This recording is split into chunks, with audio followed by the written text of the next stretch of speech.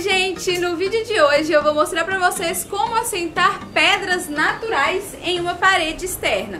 Eu assentei elas no formato escama de peixe, né, que é esse meio que na diagonal. Eu achei que ficou bem legal dessa forma, mas se você quiser assentar também da forma tradicional, fique à vontade. Agora vamos lá pro passo a passo. Primeiro, a gente precisa usar um nível. Para isso, eu vou pregar uma ripa de madeira na parede com prego ou parafuso mesmo para o nosso revestimento ficar bem certinho. Já tem vídeo mostrando como faz isso aqui no canal, tá? Agora é só preparar a argamassa. Eu estou utilizando a argamassa AC3. A quantidade de água que você vai usar, aí você vai olhar na embalagem da sua argamassa. Vou começar passando a argamassa na parede com a parte lisa da desempenadeira. E depois é só vir com a parte dentada fazendo as ranhuras. Também coloquei uma ripa na lateral para ser meu guia na posição escama de peixe que eu escolhi colocar nas pedras. Mas se você preferir colocar na posição normal, não precisa ter ripas. É só você ir encaixando uma depois a outra nessa forma que eu tô fazendo para você fazer esse detalhe de escama de peixe.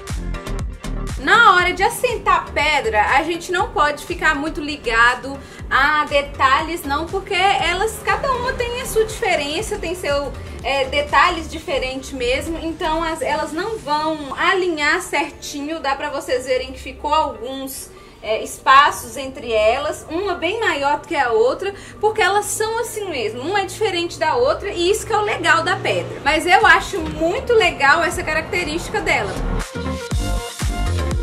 Agora, para continuar o assentamento, eu vou repetir o processo até a parte de cima.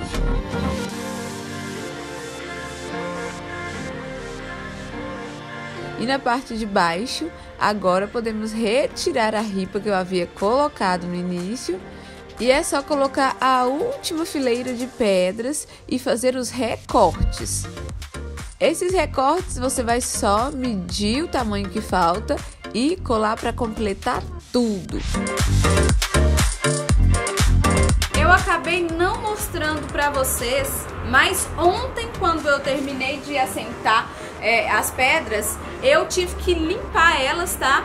Porque não pode deixar a argamassa secar ainda mais que a argamassa C3 e as pedras estão muito porosas, então a argamassa C3 ela gruda muito mesmo e acaba que não sai depois se você esperar secar. E eu fiz essa limpeza com muito cuidado, tá gente? Porque a argamassa ainda estava molhada ontem, né? Porque foi ontem mesmo que eu assentei. Então eu enchi um balde d'água e utilizei escova de lavar roupa mesmo, sabe? Aquelas que esfrega bastante. E foi isso, eu fui molhando a escova e passando nas pedras, uma por uma, onde estava sujo. E aproveitei e já fui fazendo a limpeza das pedras mesmo, algumas que estavam empoeiradas e precisava de limpar antes de invernizar. Eu vou fazer a impermeabilização da parede com resinas para pedras naturais.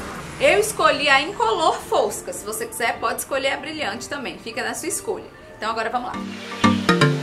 Para passar a resina acrílica não tem segredo nenhum.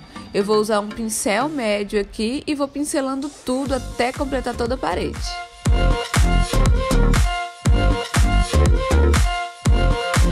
Aqui, gente, eu vou esperar secar mais um pouquinho e vou passar a segunda demão.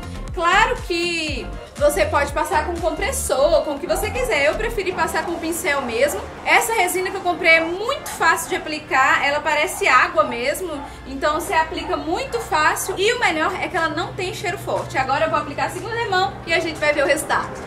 Se você gostou desse vídeo, já deixa seu like, se inscreve no canal e ativa o sininho pra você não perder nenhum vídeo, tá? Eu adorei a pedra invernizada, gente. Eu gosto dessa pedra mais escura. Acho que fica mais moderno, apesar de ser pedras, né? Uma coisa mais rústica. Eu escolhi a resina fosca pra não perder esse natural da pedra e achei que ficou maravilhoso. Me conta se você fizer aí na sua casa. Se você quiser, gente, pode colocar inclusive essas pedras na área interna também. Usa a sua criatividade e faça da maneira maneira que você quiser. Um beijão pra vocês e até o próximo vídeo.